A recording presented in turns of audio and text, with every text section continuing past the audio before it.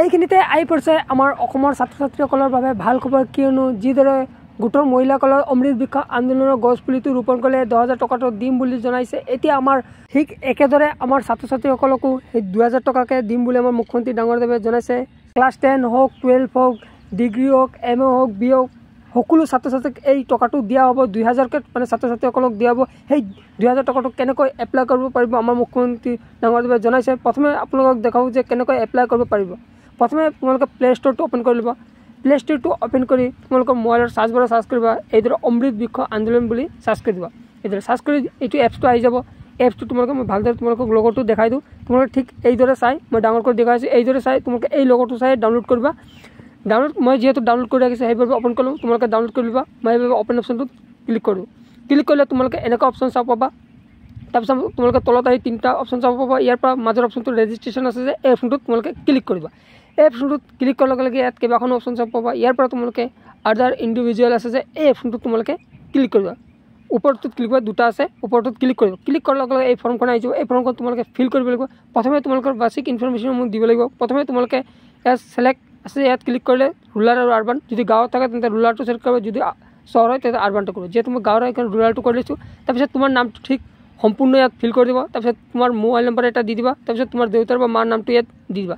এইখিনি কৰাৰ পিছত পুনৰ ফৰ্মটো তলফালে আহিবা ইয়াত আহি তোমাৰ বয়সটো কিমান হৈছে টোটেল সেই বয়সটো ইয়াত দি দিবা তাৰপিছত জেণ্ডাৰ মেল নে ফিমেল সেইটো ইয়াত ছিলেক্ট কৰি তোমালোকে দিবা। তাৰপিছত ইমানখিনি কৰাৰ পিছত তোমালোকে ইয়াত তোমালোকে এই প্ৰথম ইয়াত কেইবাখনো অপশ্যন চাব পাবা। ইয়াৰ পৰা তোমালোকে প্ৰথম অপশ্যনটো আছে যে আই এম এ ষ্টুডেণ্ট এই অপশ্যনটো তোমালোকে ইয়াৰ পৰা চাই ছিলেক্ট কৰি ল'বা।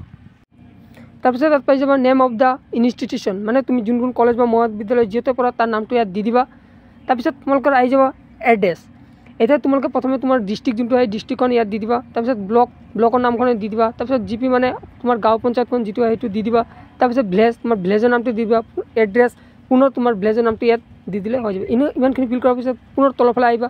পুনৰ তলফালে আহি তোমালোকে ইয়াত তোমাৰ এৰিয়াৰ যোনটো পিনক'ড হয় সেই পিনক'ডখন ইয়াত দি দিবা? তোমাৰ পষ্ট অফিচখন ক'ত আছে ইয়াত দি দিবা? তাৰপিছত পুলিচ ষ্টেচন ক'ত আছে ইয়াত দি দিবা? এইখিনি দিয়াৰ পিছত পুনৰ তলফালে আহিবা। পুনৰ তলফালে আহি তোমালোকে ইয়াত চাব পাবা চেণ্ডিং কালেকশ্যন পইণ্ট ইয়াত প্লিজ ছিলেক্ট কালেকশ্যন পইণ্ট মানে ইয়াত ক্লিক কৰি তোমাৰ এইদৰে মানে গাঁৱৰ নাম ব্লক পোষ্ট অফিচ সকলোবোৰ একেলগত থাকিব তোমালোকে ইয়াত চাব পাৰিছা মানে তোমাৰ গাঁৱৰ নাম পোষ্ট অফিচ তোমাৰ তোমাৰ ব্লক সকলোবোৰ থাকিব। সেইটো চাই তোমালোকে ইয়াৰ পৰা ভালদৰে চাই যিটো হয় সেইটো মানে ছিলেক্ট কৰি ল'বা।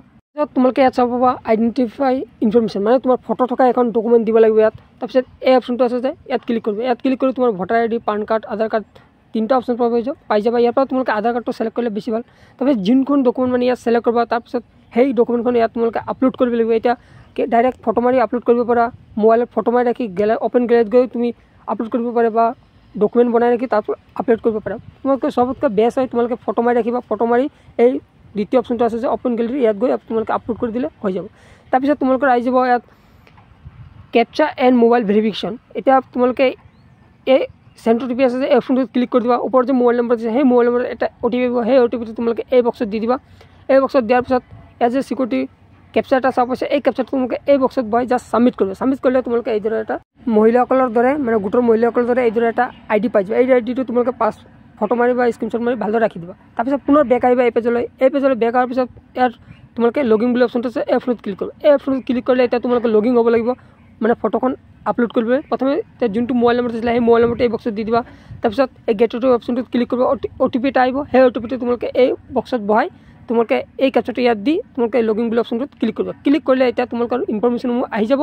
এতিয়া তোমালোকে এই ইয়াত যে আছে আপলোড ফটো এই অপশ্যনটোত তোমালোকে ক্লিক কৰিবা। এই অপশ্যনটোত ক্লিক কৰাৰ লগে লগে এতিয়া তুমি কি গছ পুলিটো ৰোপণ কৰিবা আৰু তাৰ ফটোটো দিব লাগে সেইবাবে তোমালোকে আছে যে ছিলেক্ট প্লেন এই অপশ্যনটোত তোমালোকে ক্লিক কৰিবা। এই অপশ্যনটোত ক্লিক কৰাৰ লগে তুমি বহুত ইয়াত গছৰ নাম পাই যাবা।